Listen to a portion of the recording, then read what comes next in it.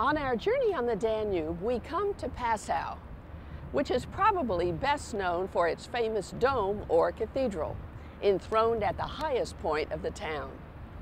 This church was once Gothic in style, but was totally destroyed by fire and was replaced by an ornate building. Within the Passau Cathedral is one of the great organs of the world. And historically speaking, and even now today in the present, it is the world's largest church organ.